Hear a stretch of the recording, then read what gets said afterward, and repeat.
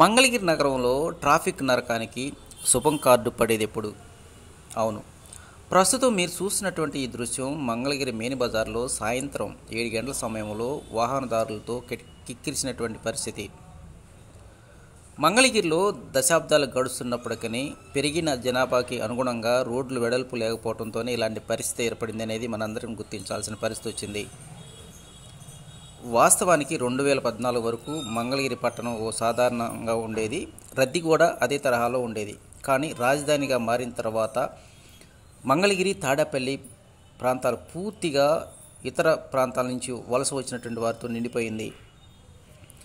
ప్రభుత్వ కార్యాలయాలు విశ్వవిద్యాలయాలు మరి ముఖ్యంగా డీజీపీ ఆఫీస్ కూడా ఇక్కడ ఏర్పాటు చేయడంతోనే అన్ని శాఖలకు సంబంధించిన అధికారులు వాళ్ళ కుటుంబాలందరూ మంగళగిరి కేంద్రంగా నివాసం ఉంటున్నారు. అపార్ట్మెంట్లు కూడా కిక్కిరిసిపోతూ ఉన్నాయి. ఒక మంగళగిరి బైపాస్ రోడ్డు మీదే దాదాపు ఇరవై ఐదు నుంచి ముప్పై ప్రభుత్వ కార్యాలయాలు ఏర్పాటు చేశారంటే మనం అర్థం చేసుకోవచ్చు. ఆ కార్యాలయంలో పనిచేసే సిబ్బంది అందరూ మంగళగిరి నగరం చుట్టుపక్కలే కాపురాలు ఉంటూ ఉన్నారు.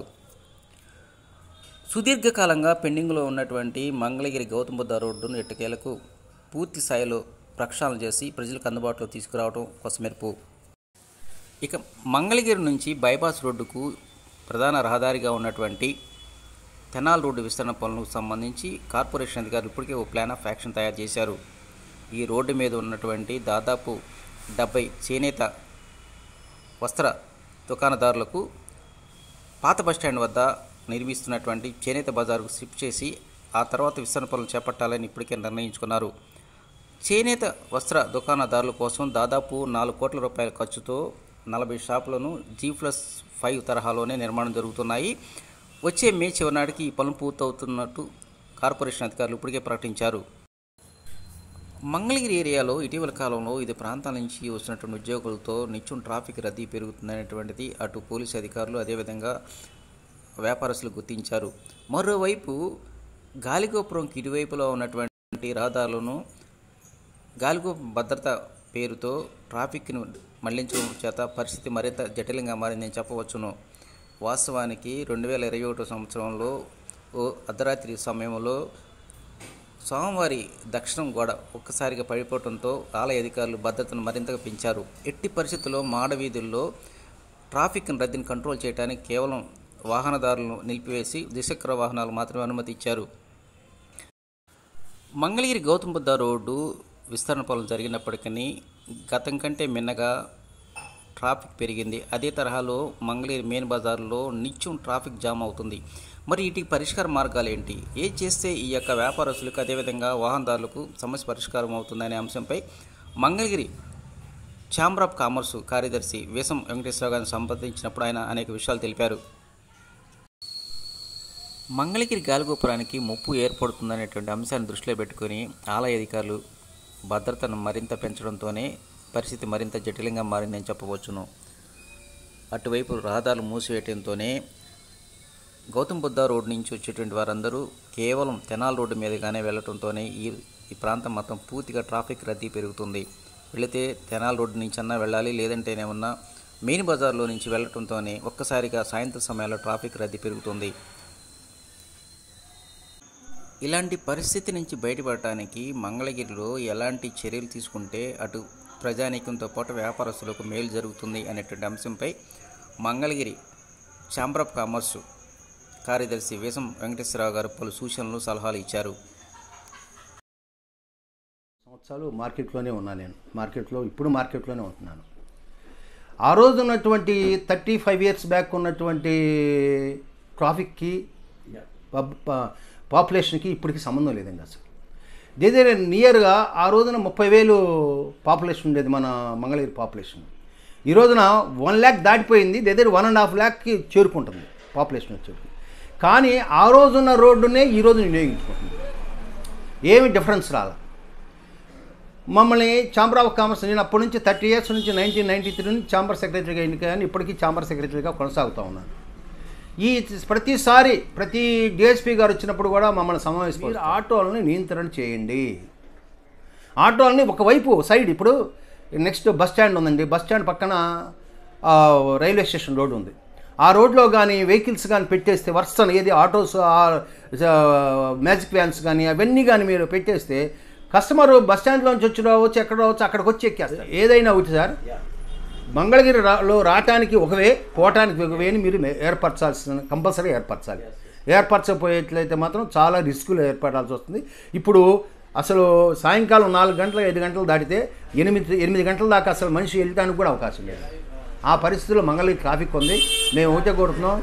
మంగళగిరి వచ్చేప్పటికి ఆరో ఇరవై ఎనిమిది అడుగులు ముప్పై అడుగులు ఉంటుందండి. నల్గొండ సాంబశ్వర గారి కొట్టి దగ్గర నా లెక్క ప్రకారం. అసలు అలానే ముందుకెళ్ళిన తర్వాత మమ్మీ డాడీ దగ్గర వెడల్పు ఉంటుంది రోడ్డు. అలానే గాలిగోపురం దగ్గర వెడల్పు ఉంటుందండి. తతిమ్మ రోడ్డు ఆ మొత్తం టోటల్గా కూడా షార్ట్ చాలా తక్కువ. అయితే మేము ఎమ్మెల్యే గారికి ఒకటే చెప్పాం. మేము మీరు కానీ అభివృద్ధి చేసేదానికి మేము ఆటంక పరచము. మీరు కానీ రోడ్డు వెడల్పు చేసేట్లయితే మేము సహకరిస్తాం చాంబర్ కార్యదర్శిగా. మీరు ఎవరైనా సరే ఎవరితో మాట్లాడమన్నా వచ్చి మాట్లాడతాం.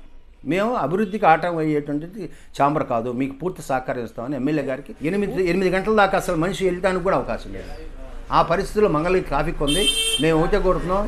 మంగళగిరి మెయిన్ రోడ్డుని హైవే రోడ్డుగా చేసేందుకు ముందు ఎమ్మెల్యే గారికి కృతజ్ఞతలు తెలియజేస్తున్నాం మేము.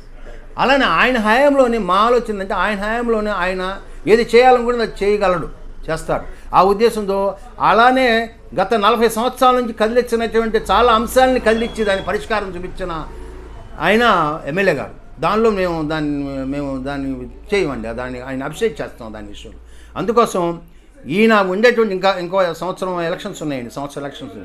ఈ ఈ సంవత్సరం లోపలనే ఆయన ఒక దీన్ని ఒక ప్రాజెక్టు స్పీడ్ ప్రాజెక్ట్ కింద తీసుకొని ఈ రెండు రోడ్లని కూడా కరెక్ట్ చేసేట్లయితే చాలా బాగుంటుందని మా ఛాంబర్ ఆఫ్ కామర్స్ తరఫున మేము అభివృద్ధికి ఆటం అయ్యేటువంటిది ఛాంబర్ కాదు. మీకు పూర్తి సహకారం ఇస్తామని ఎమ్మెల్యే గారికి పూర్తి సహకారం ఇస్తానని చెప్పాను దీంట్లో. ఏది ఈ ఎక్స్చేంజ్ చేసే విషయంలో మేము పూర్తి సహకారం ఇస్తామని అధ్యక్ష కార్యదర్శులు కార్యదర్శులు కాకపోతే ఏంటంటే మీరు ప్రెజర్ చేయ ప్రయత్నం చేస్తాం. డ్రైన్ నుంచి డ్రైన్ కొనడానికి ప్రయత్నం చేస్తామని చెబుతున్నాం.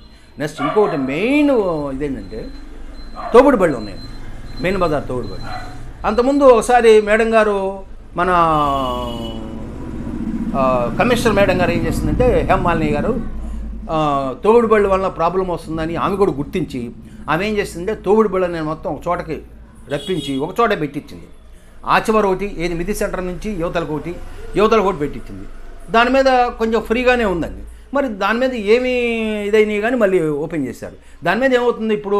ప్రతి షాప్ ముందు ఒక తోడు బండి ఉంటుంది అడ్డం వస్తుంది. అడ్డం వస్తే నేను తోగుడు బండి మా షాప్ ముందు పెట్టినందుకు మేమేమి ఆటంకం కాదండి. వ్యాపారం చేసుకోవచ్చు. ఆయన చిన్న వ్యాపారస్తుడు మేము మధ్యతరగతి వ్యాపారస్తుడు. వాళ్ళని మేము వ్యతిరేకం కాదు. కానీ ఆ కొనటానికి వచ్చిన ఆయన బండి ఆపుతాడు.